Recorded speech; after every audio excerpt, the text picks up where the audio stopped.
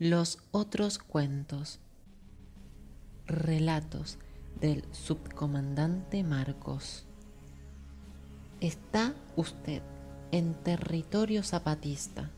Aquí manda el pueblo y el gobierno obedece. Junta de buen gobierno, corazón céntrico de los zapatistas delante del mundo. Zona Altos. Primer relato. Sueña el viejo Antonio. Sueña Antonio con que la tierra que trabaja le pertenece. Sueña que su sudor es pagado con justicia y verdad. Sueña que hay escuela para curar la ignorancia y medicina para espantar la muerte. Sueña que su casa se ilumina y su mesa se llena. Sueña que su tierra es libre y soberana y que es razón de su gente gobernar y gobernarse. Sueña que está en paz consigo mismo y con el mundo entero. Sueña que debe luchar para tener ese sueño. Sueña que debe haber muerte para que haya vida. Sueña Antonio y despierta. Ahora sabe qué hacer y ve a su mujer en cuclillas atizar el fogón. Oye a su hijo llorar.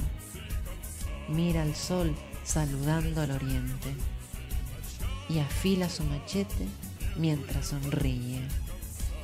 Un viento se levanta y todo lo revuelve. Él se levanta y camina a encontrarse con otros. Algo le ha dicho, que su deseo es deseo de muchos y va a buscarlos. Sueña el rey con que su tierra se agita por un viento terrible que todo lo levanta. Sueña con que todo lo que robó le es quitado. Sueña que su palacio es destruido y que el reino que gobernó se derrumba. Sueña y no duerme. El rey va donde los señores feudales y estos le dicen que también sueñan lo mismo. El rey no descansa, va con sus médicos y entre todos deciden que es brujería.